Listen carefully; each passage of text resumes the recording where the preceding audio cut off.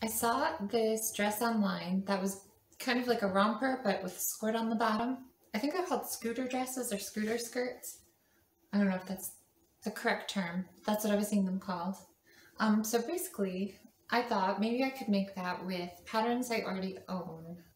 So I figured I can kind of Frankenstein something together using this pattern as the bodice and just a pair of shorts underneath and then some panels for the skirt.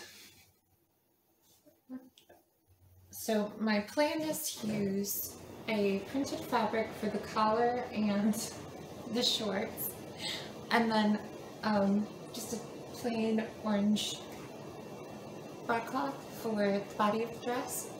Um, I do have to do some alterations to make this look the way I want. Um, I need to make some armhole facings, which are really easy to make. And then the bottom part is just squares basically. This is just kind of a rough doodle I put together. For hopefully what it'll turn out like when it's done. Um, I might make a belt, I haven't decided yet. I don't know. But I do want to put like a faux button placket down the front just because I think that would be cute. And yeah leave the collar the way it is in the majority of the dress. And then just make some shorts that go underneath it. And hopefully it'll turn out okay. I don't think it'll be too difficult, and it should turn out okay. I've made this pattern before um, for a top, but I haven't done the shorts one yet, but it's proportioned.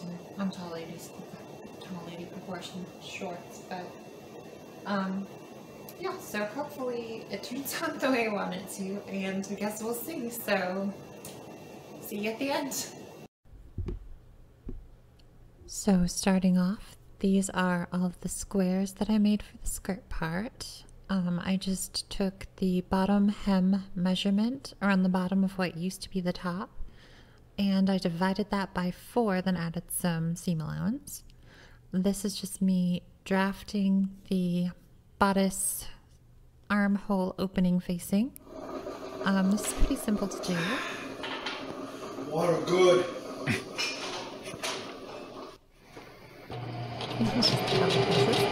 um, this is me stitching a tube of fabric that I'm going to use for the faux button placket at the front.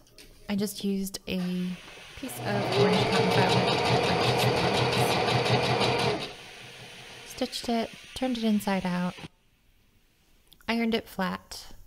Um, here are all of my pattern pieces. Um, darts already sewn into the bodice top and um, front and back and stay stitched together. There's the collar put together. Sorry about the focus.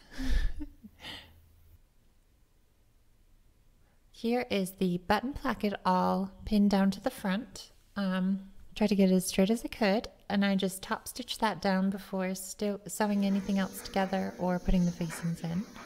I'm pretty pr proud of how clean this came out and neat my stitches are.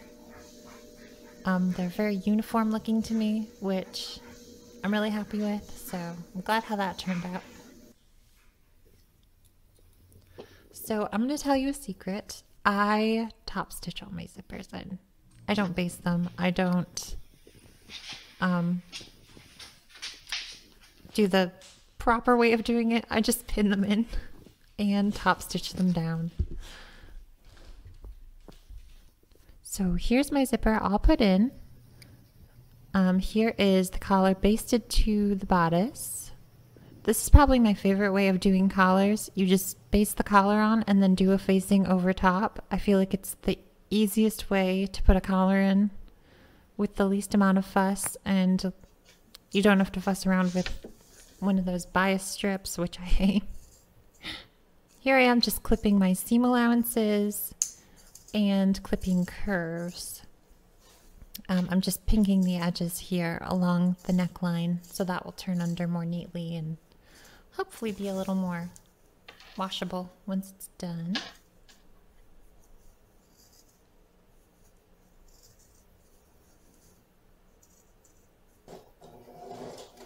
Here I am just stitching some understitching along the facing.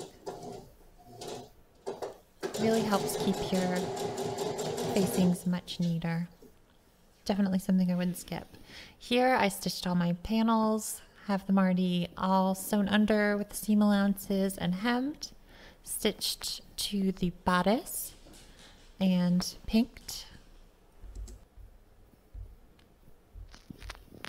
So what I did next was I just took a double fold bias tape and I pinned that along and stitched that to the seam allowance. Then I turned that up and top stitched it down. And I'm really happy with how this came out and how neatly and well proportioned it was. These are just the short pieces. These came together really easily, so I didn't really film a lot of it. Um, yeah, pretty simple, straightforward. Started. Here is the completed look. I am very happy with how this turned out. I love the colors. I love the pattern I used. I'm happy with the buttons down the front, the collar, shape and size, the sash belt, the length of the skirt. I made it so the panels were perfect squares basically, which is kind of what I was hoping they would turn out like. um, I feel like it's pretty flattering. It's drop waisted, but there's enough darts in it that it's fitted. I did add some extra darts to the back of it to make it a little more fitted. Cleo approves. The only thing I don't love about this project is the shorts. So this pattern's from 1959 and apparently their version of short shorts is very different from ours now. I was hoping I'd be able to wear these without the dress. They're the perfect length with the skirt, but on their own, they're a little unflattering. So we'll see. I might stitch some snaps underneath so they'll be shorter.